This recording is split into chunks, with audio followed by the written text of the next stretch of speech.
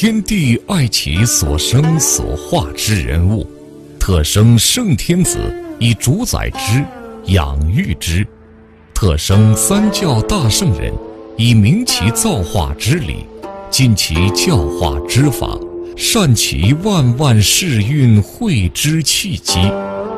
三教圣人，都讲的是天人合一，人的真本质，就是每个人的灵魂都是一个旋转的太极，都是道父德母所生。《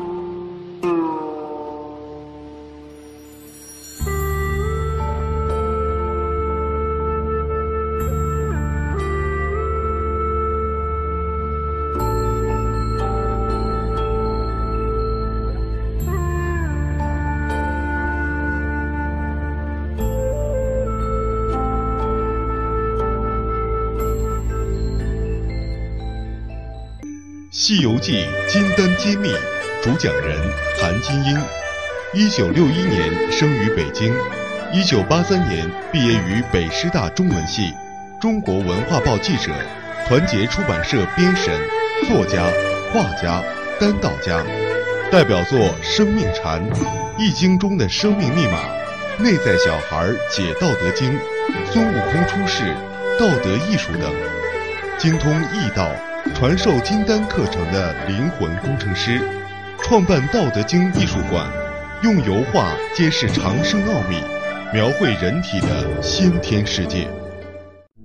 第六十八讲：有形之病。大家好，今天我们讲《西游记》金丹揭秘第六十八回“再尘出尘”。上一回讲的是，是这个猪八戒。拱开了千年的稀世铜，讲的是人清理了历史的业因，这个元神所带来的几千年的负面的垃圾啊，必须要清理了，否则的话，它藏在人的潜意识里啊，一个不干净的念头，它就会拽着你再去轮回啊，所以一定要把历史的垃圾清理掉。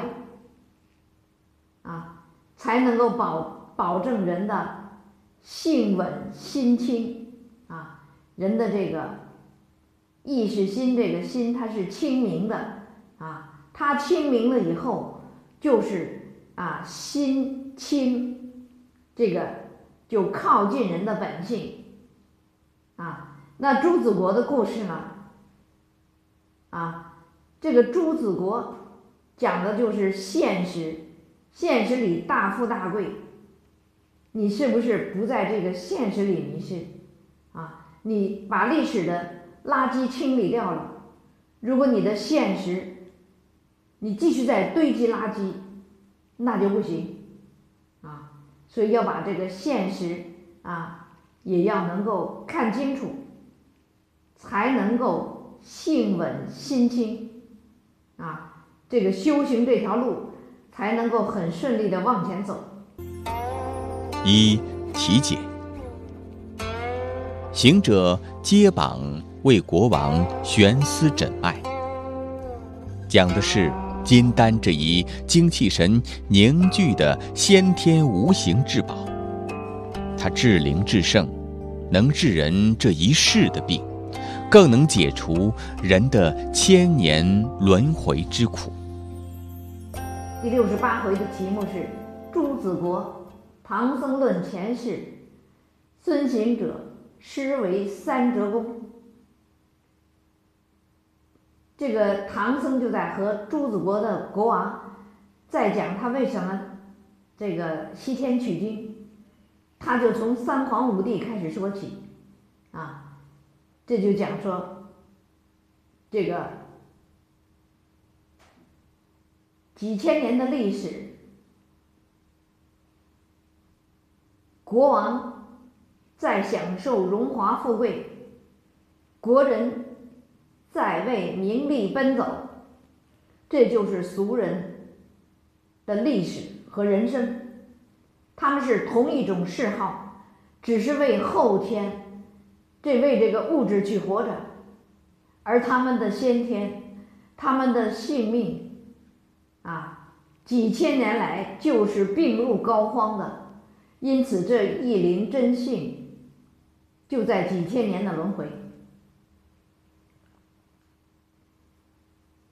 这个孙悟空呢，用很高明的医术，给这个重病的朱子国的国王给他治病，啊，他用的是悬丝诊脉，啊，是用三根线来给这个国王诊病，这就比喻的人的精气神合一形成了这个无形的金丹至宝。这个至宝，至灵至圣，它就是人的投胎那口先天元气，也就是人的仙佛圣，人本来的圣人，就是这个三合一的这个本性之光。这个本性之光不仅能够治这一世的病，还能够解除几千年的轮回之苦。二，会同馆。唐王不得真经，不能超度孽苦；国王不得良医，不能去其沉疴。事不同，理同，所以叫会同。两个国王都是需要先天之真解决性命之大事。第二会同馆，画表三藏师徒，洗污垢之胡同，上逍遥之道路，光阴迅速，又值炎天啊！又到了夏天，他们就到了一个啊一个一个城池外，然后这个孙悟空呢，就说唐僧不识字，说这个。城头上那个杏黄旗上明明写着三个大字，你就为什么看不见呢？啊，你为什么就不认得呢？三藏就说：“啊，说我怎么不认识呢？我读了那么多书，我怎么不认识呢？”啊，说这个孙悟空就说：“你认识你怎么看不见呢？那不就是朱子国三个字吗？”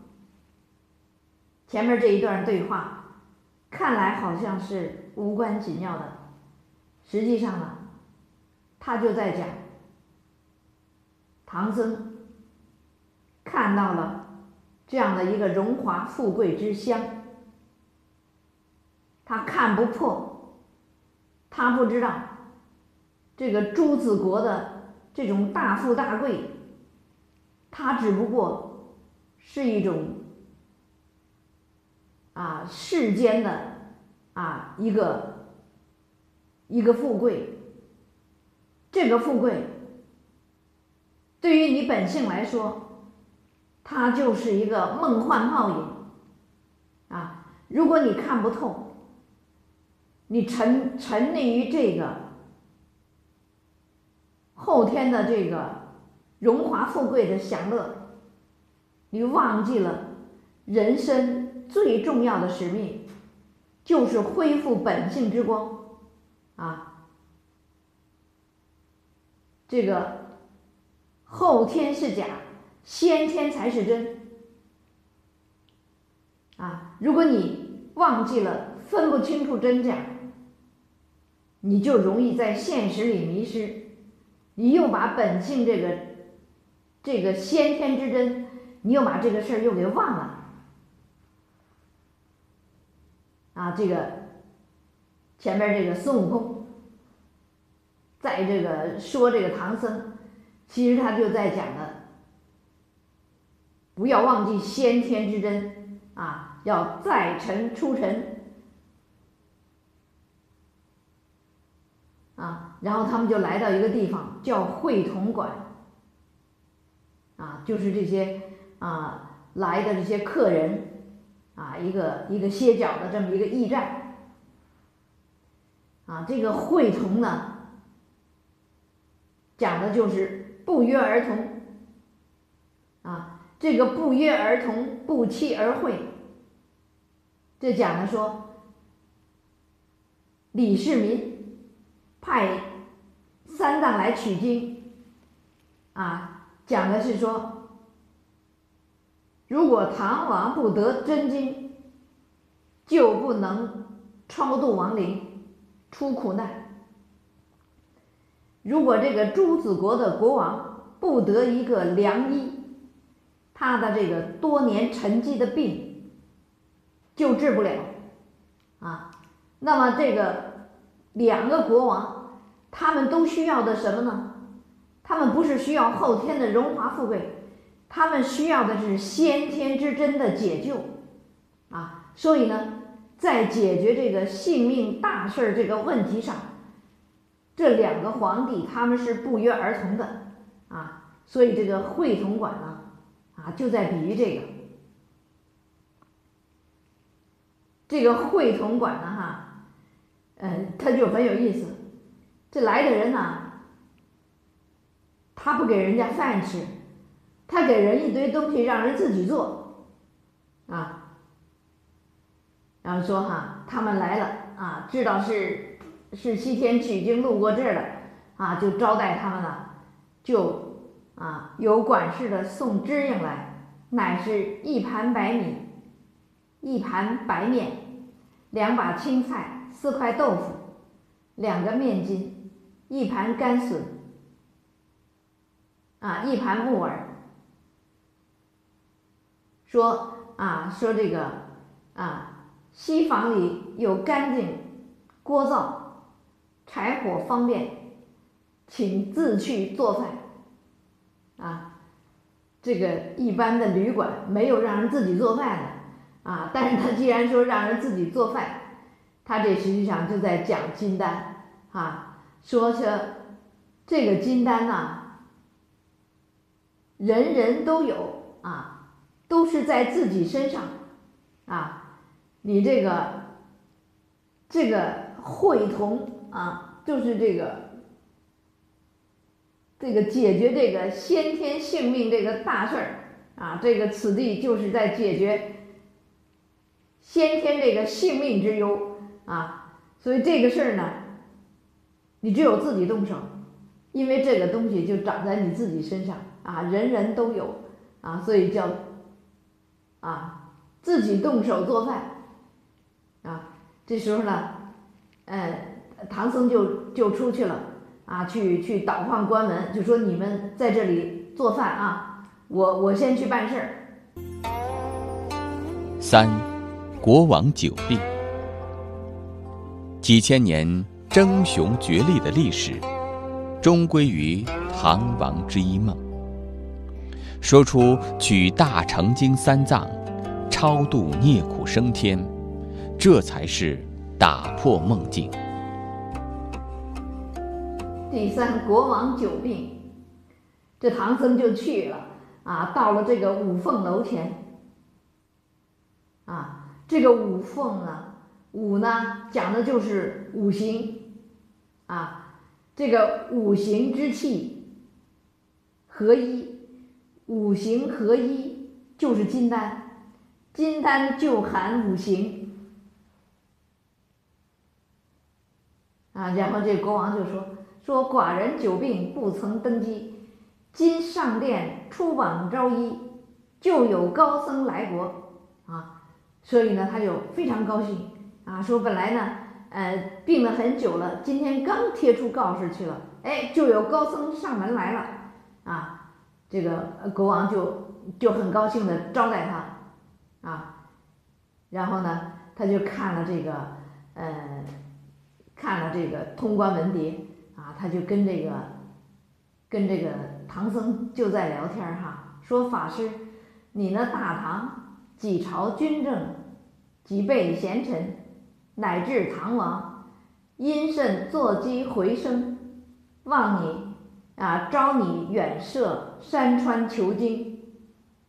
啊，这个唐僧呢，就给他说啊，说这个哈，说三皇治世。五帝分伦啊，然后就从从三皇五帝，然后一直讲到唐代啊，高祖啊，讲到这个呃燕驾当今市民和亲海晏，大德宽仁。自因长安城北有个怪水龙神，科检干预，应该损身。夜间托梦告王救哈，王言准赦，早招贤臣，款留殿内，慢把其轮。既当日午，纳贤臣梦斩龙身。啊，这讲这个讲这个这个过程哈，就是这个魏征这个梦斩这个。这个晋河老龙，啊，就就讲到这儿哈。这说，作为这个帝王，从三皇五帝一直到李世民，讲这几千年的历史，啊，几千年争雄角力的历史，终归于唐王之一梦，啊。这讲的就是一灵真性就在这个这个梦中啊，在这个流转轮回，直到唐僧取经，取这个大乘经三藏啊，人们终于觉醒了，对这个性命、这个这个人生的这个大事儿啊，终于觉醒了。啊，在在为这个在努力，这才叫打破梦境啊！这个事儿成功了，这个几几千年像做梦一样的轮回就可以结束了啊！然后这个柱子国的国王就问啊，说法师。那贤臣是哪帮来者？三藏道：“就是我王驾前丞相，姓魏名征，他是天文之地理，辨阴阳，乃安邦立国之大宰辅也。”啊，这讲的说，刚才讲的是国王，不管是哪一个朝代的国王啊，他也不过就是一个啊，唐王一梦。这个作为臣子，不管他有多高的本事啊，知天文辨阴阳啊，他这个神还能够通出去，还能够啊用这个元神去斩这个斩这个龙龙头，尽管他都有这样高的本事啊，也不过就是一梦啊，也就是一个啊安邦立啊定国。之能的魏征啊，这个魏征啊，对于义灵真性来说，他就是一个假的证据，所以叫伪真啊。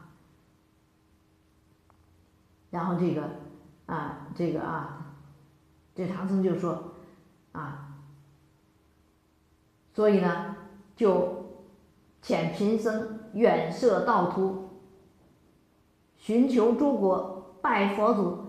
取大乘经三藏，超度孽苦升天也。那国王又呻吟叹道：“诚乃是天朝大国，君正臣贤，似我寡人久病多时，并无一臣成就。”啊，就讲说这个唐朝呢。是这个国君啊，这个皇帝很清明、很正啊，这个大臣呢也很有本事啊，这就比比较来说呢哈，就是说这个柱子国的国王，在这个唐僧讲这个三皇九啊三皇五帝这个历史的过程中，他也明白了什么是真。啊，什么是假啊？只不过是一梦。那么这个真的悟了啊，悟了不行，悟了呢就还要实践啊，所以叫悟后起修，就是这个阴阳调和之道啊。所以这后边呢就讲了哈，说这个这个孙悟空他们在这个会同馆里准备做菜，但是呢，这个沙僧道茶饭易煮，蔬菜不好安排。行者问道：“如何？”沙僧道：“油盐酱醋俱无也。”啊，这个没有这个调料，没有这个调和，这讲的就是阴是阴，阳是阳，就讲普通人，他作为一个生命，处于一种后天的状态，就是阴阳不调和啊，阴阳两分离啊，这就是后天的状态。所以这个用这个没有调和来比喻朱子国啊，来比喻这个后天的人啊，他的阴和阳是啊，是是这个啊，是各行其事的啊。然后这个行者暗笑道：“沙僧好生煮饭，等我们去买调和来。”啊就是叫着猪八戒，猪八戒是木，孙悟空是金，他们两个拉着手去买调调料，讲的就是金木同气，夫唱妇随，啊，这个促进这个水火既济啊，促进这个阴阳调和，讲的就是这样的这个内涵啊。所以他是借着生活的细节，在暗指这个啊金丹的内涵。这他们在这个买调和的这个路上呢，这孙悟空呢就看到了这个贴出来的这个这个这个这个榜文啊，招这个名医给国王治病啊，这个榜文。啊，这个孙悟空呢，哈，就说啊，古人云：行动有三分才气，早是不在馆中呆坐，却此不必买神调和，且把取经事宁宁耐一日，等老孙做个医生耍耍。啊，好像孙悟空要做一个医生。孙悟空说：“做个医生耍耍，好像他好像是是玩儿，但实际上呢，他这个玩儿呢，讲的就是元神啊，元神这个能量可不是玩儿啊，他是非常认真的啊，他是说什么，这个能量就会发发挥作用的。这个孙悟空呢，就用了一个神通啊，搓了。”啊，这个捻了一撮土往上撒去，念声咒语，使个隐身法，轻轻的上前接了网，又朝巽地上吸口仙气吹来，那阵旋风起处，他却回身，进到八戒站处。在，讲说他这个是他的神啊，这一口气儿他是个虚的啊，这个风一吹又把这神又给吹回来了。啊，然后这猪八戒呢，正正在那儿，好像困了在睡觉，然后孙悟空呢就把这个接下来这榜文呢，就给塞到这个啊，揣在这个猪八戒的怀里了，啊，然后呢，他自己就先先走了，就去了这个会同馆，那这个细节的安排呢，讲的就是说，这个猪八戒这个戒，啊，这个戒这个木火。啊，讲的就是这个啊人心。如果你把这个后天意识心，你把这个贪婪的这个这个欲望，你把这个东西能够借助的话，你的这个先天才有可能恢复啊，就有这样的含义。四，恭敬光来。你去交纳国王亲来请我。我有手到病除之功，讲的是恭敬、真信是元神，元神带先天一气，解决一切问题。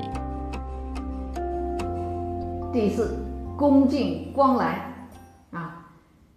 这个元神呐，它是光，如果你不恭敬的话，这个这个能量就就不出来啊。所以他讲的是这个啊，恭敬讲的就是这个能量啊。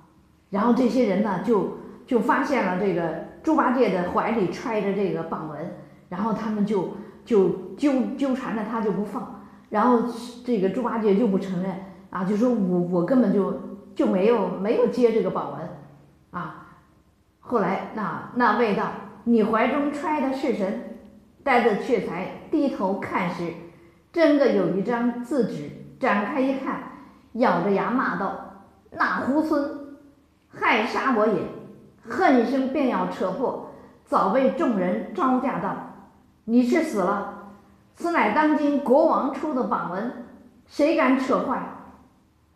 你既揣在怀里，必有一国之首，快同我去！啊，这就拉拉扯扯的，就是来到了这个会同馆。啊，这个孙悟空呢，早就到了，正在和这个沙僧在在说说笑笑呢。忽然看见这些人啊，这个扭着这个猪八戒来了。这孙悟空就说啊，就出面说啊，这招一把尾是我接的，故遣我师弟引荐。既然你主有病，常言道，药不根脉，病不逃医。你去叫那国王亲来请我，我有手到病除之功。啊，那些人听了都非常的惊骇。啊，说要国王亲自来请我，这讲的就是说，这个恭敬就是真信，真信就是元神，元神就带着先天一气，就带着这个能量。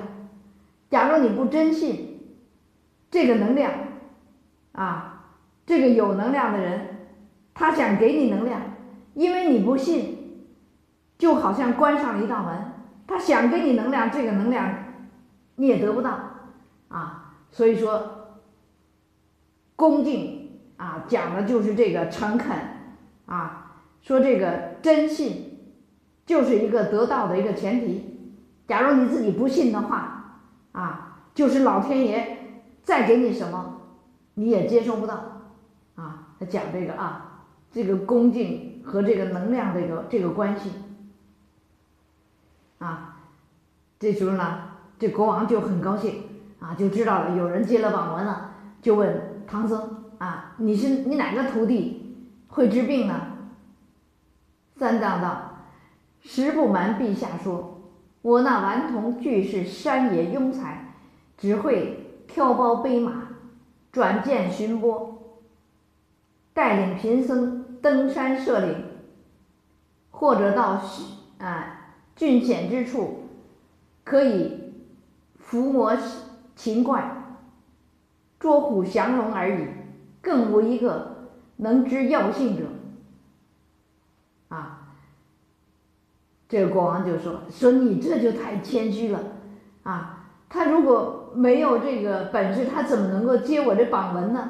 而且呢，还让寡人啊亲迎，啊，一定有一国之能。”啊，然后就说啊，说这个哈，啊，寡人身虚力怯，不敢称撵，汝等可替寡人聚到朝外，敦请孙长老看朕之病。汝等见他，切不可轻慢，称他做神僧孙长老，皆以君臣之礼相见。啊，这个讲的说，国王虽然没有亲自来，但是国王的意思已经通过别人带到了，啊，也就是说诚恳的心到了，啊，一诚则性定，啊，你这本性一定，本性的威力就会发挥，啊，这个病呢就能就能开始好了。可是很多人呢。长期的面临着心灵的麻烦，生理上的肉身的疾病的麻烦，啊，这个根子就在于意不成不定，人的本性总是发挥不了作用，啊，所以这个很长时间啊，这个麻烦都过不去，啊，根子就在这儿，啊，然后这些啊官员呢。就代替国王啊，就很大的阵势就来了，给这个猪八戒和沙僧吓得呢哈，吓得都都都恨不得不知道往哪里躲。但是呢，这个孙悟空呢就大摇大摆的，根本就不当回事儿。八戒暗地里怨恶道：“这猢狲活活的折杀也，怎么这许多官员礼拜？”更不还礼，也不站将起来，啊，然后呢，这个这个官员呢，啊，就就就就在说哈，说上告神僧孙长老，我等具诸子国王之臣，今奉王旨，敬以节礼参请神僧入朝看病，啊。这就非常的那个啊，那个恭敬啊，非常的那个啊，把这个好话都说到顶的这种感觉啊，然后孙悟空才站起来对他们说：“你王如何不来？”啊，然后他们说啊，说这个国王病得很厉害，说让我们来代替他啊，然后呢哈，这个行者整衣而起啊。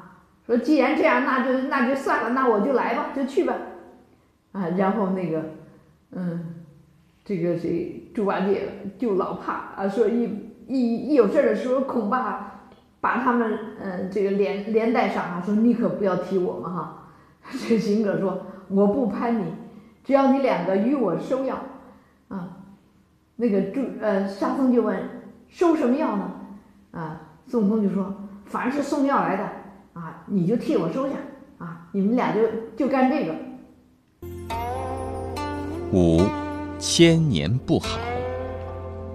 人不修道，追名逐利，不过是鬼苦生涯，与死为伍。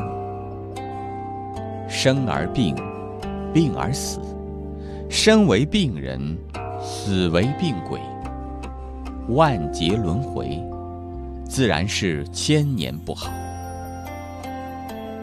第五，千年不好，啊，这时候就入宫给这个国王看病，啊，高高卷珠帘，闪龙睛凤目，开金口玉眼，便问哪一位是神僧孙长老。行者近前一步，厉声道：“老孙便是。”那国王听得声音凶狠。又见相貌刁钻，唬得战兢兢跌在龙床之上，慌得那女官内侍急扶入宫中，道：“虎杀寡人也。”啊，然后这些官就埋怨这个孙悟空说：“这和尚怎么这等粗鲁村书，怎敢就就擅结网？”行者闻言笑道。列位错怪了我也。若像这等慢人，你国王之病就是一千年也不得好。啊，就是他们开始呢还有点那个啊恭敬，这一看这个国王责怪了，马上就啊就很轻慢啊就很瞧不起这个孙悟空。啊，这孙悟空就说了啊，说你这个病啊一千年也不好。啊。这讲的说，人如果不修道的话，啊，只是这个后天的这个追名逐利的这样的人生，啊，后天是阴气，啊，所以呢，这就叫啊，不过是鬼哭生涯，与死为伍，生而病，病而死，啊，生为病人，死为病鬼，万劫轮回。何时了歇？千年不好。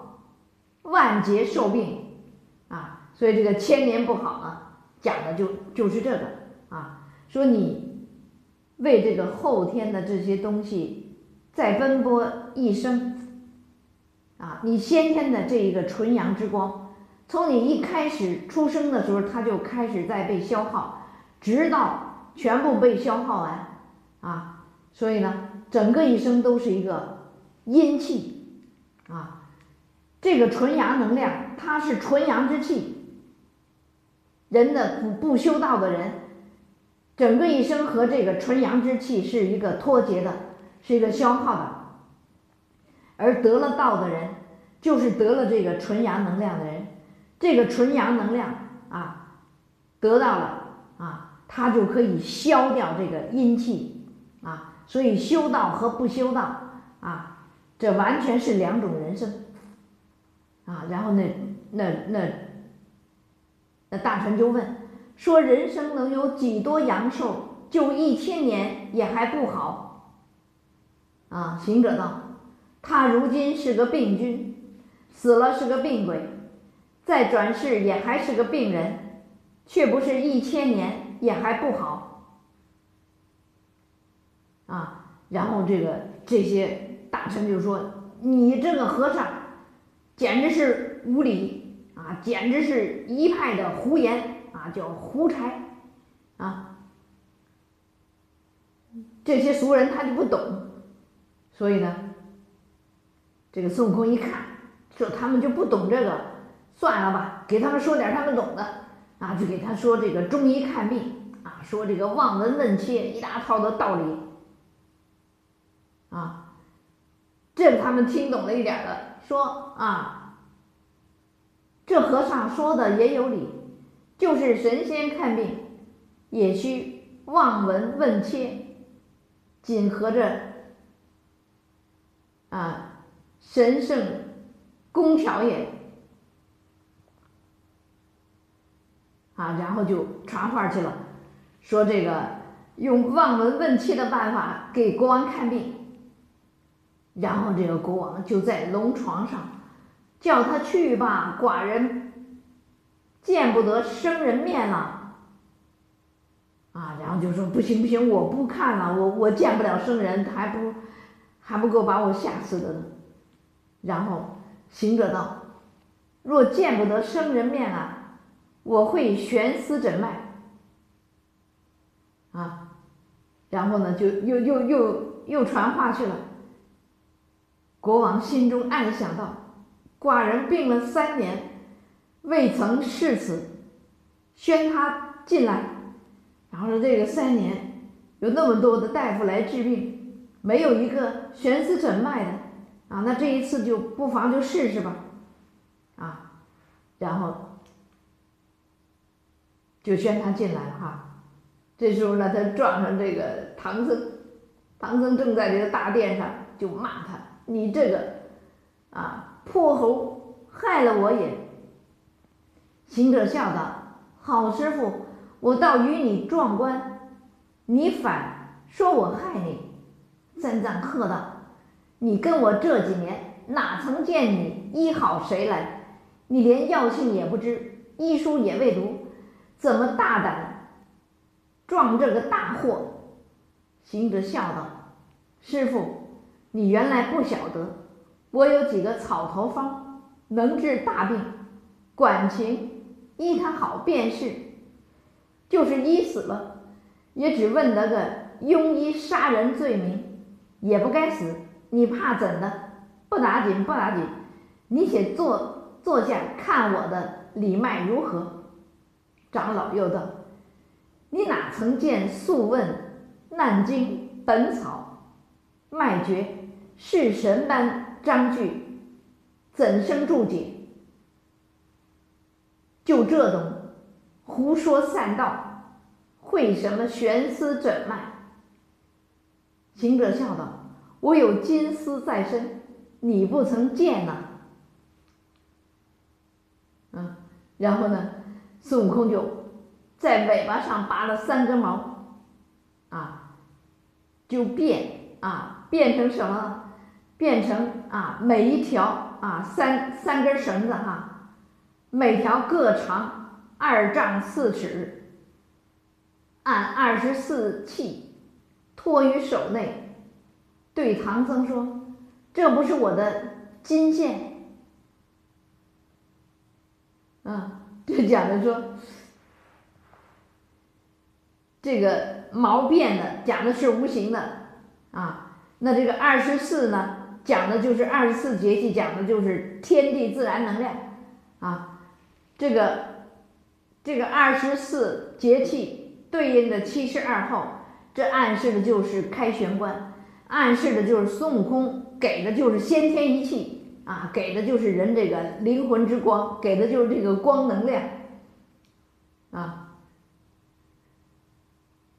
说这个哈，说这个对于治病来说。这个，即使是这个扁鹊、华佗啊，也没有悬丝诊脉啊。但是呢，虽然扁鹊和华佗是神医，但是他们治的是肉身，治的是有形之病，他们也不能治这个无形之病啊。治有形之病，治人的肉身的病，这是人道。